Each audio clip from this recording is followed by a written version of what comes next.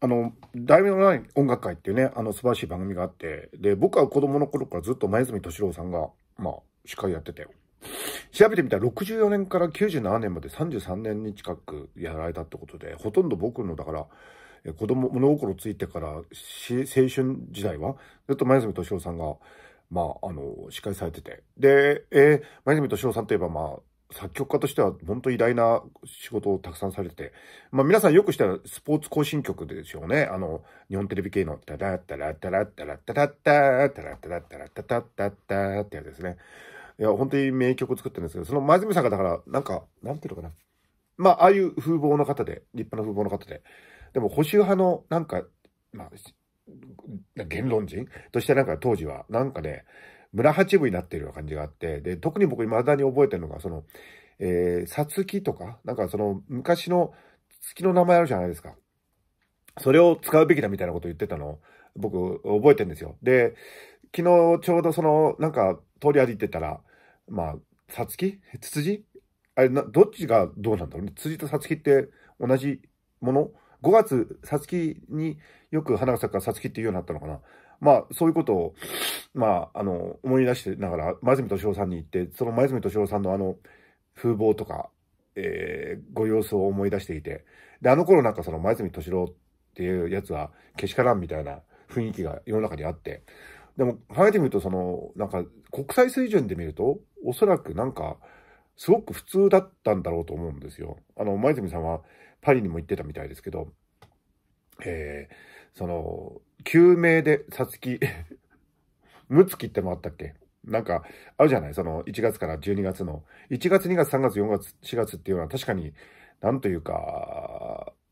味気ないっすよね。で、英語だと January、February、March、April、May、June、July、August、September、October、November、December っていくわけですから、それに相当する日本の月名ってのはもっと使うべきだったら本当その通りだと思うし、なんか、なんかその通りの時代風景の中では、前住さんが、あの、孤立してたのかもしれないけど、今はどうなのかなって、なんとなく僕未だに覚えてるのは、そのなんか寂しそうな感じっていうか、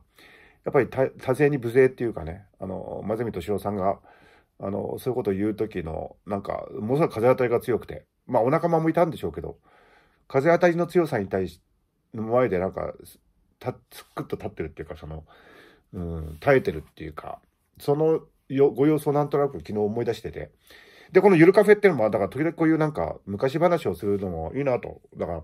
なんか今の時代ってなんかね、あの、あまりにも、なんていうのかな。今のことしかないっていうか、で、こういう時間の系列で昔こうだったってことを言うっていうのは大事なことだと思うんですよ。その情報をこうやってシェアするっていう意味で。なぜか今鼻水が出ていますが 鼻水垂らしながら昔話をするっていうね。あの、この中身は空っぽです。あの、はい。何もないです。あの、ちょっと今、えー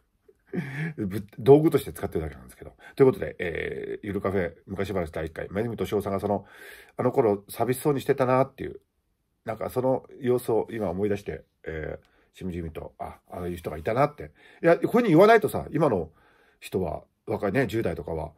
前住敏郎っていう人がいたってことも忘れちゃうかもしれないんで、で、スポーツ行進曲っていう名曲を作ったのが前住さんだって。で、そういう時代もあったよって。だか前住さんが、そういうこと言ってて、まあいろんな主張に必ずしも僕は全部賛同してるわけではないですけど、そうなんかそういう時代の中でその、なんていうかな、少数派として何か言うってことの意味っていうのはなんとなく感じるんで、うん、そういう様子を、えー、ちょっと今日は語ってみました。ということで、ゆるカフェ大昔話第1回、前住敏夫さんのお姿についてお話しました。